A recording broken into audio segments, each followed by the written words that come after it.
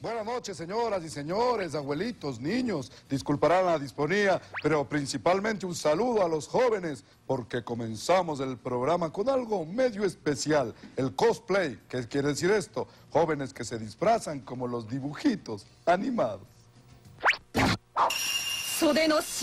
Superpoderoso samurái, sabio y valiente guerrero japonés.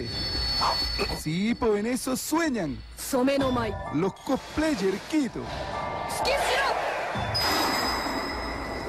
Yo soy Kuchiki Rukia. Soy eh, un dios de la muerte. ¿Y tus poderes? Mandarte al infierno.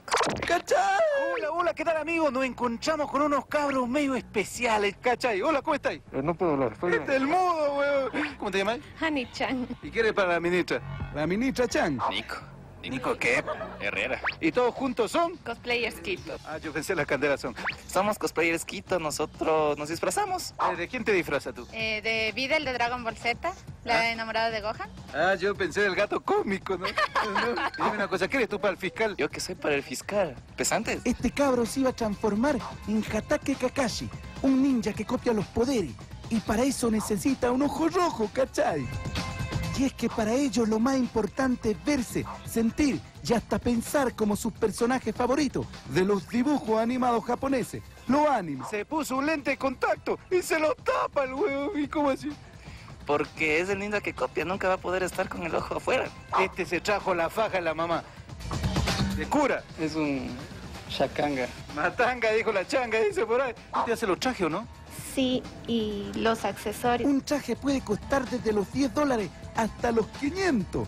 Depende cómo lo queráis y a quién vaya a interpretar, weón. ¿Y cómo es la cosa? ¿Tú te pones el traje para luego quedar pilucha? Ese es el traje de Winry Rockbell. Ella es una mecánica. De Windy Romple.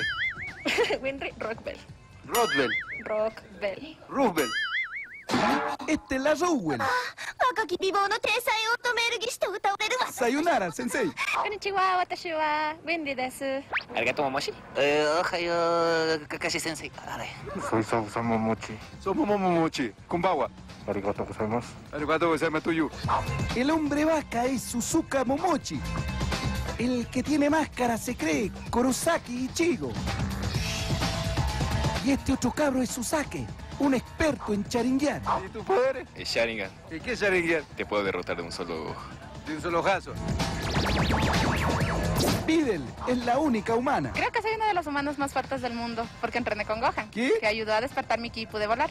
Watashi wa Satan Videl. ¿Qué quieres decir con eso? Quiero decir que probaremos algo. Este virus provoca que algo se ponga de moda. Chiita, ellos dicen que están de moda. Algunos creen que son excéntricos. Pero para comprender a estos jóvenes, me tocó meterme de lleno en su mundo de fantasía.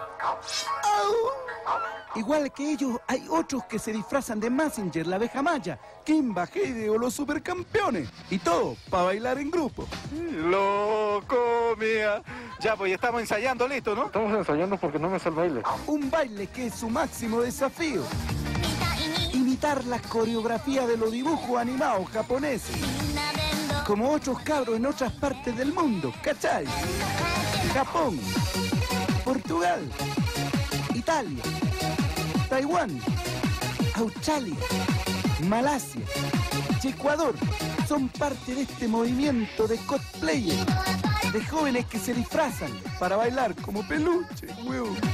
¿Qué piensa la gente de alguno de ustedes? Mucha gente piensa que somos tal vez inmaduros porque nos disfrazamos de personajes de animación, pero no es así. Es, es un hobby muy entretenido. El anime es un arte, el anime es una forma de, de sentir el arte japonés. Así crecimos todos nosotros. Y trabajamos, estudiamos. Somos unas personas de bien. Sí, po, ellos son los cosplayers Quito. ¿Cachai?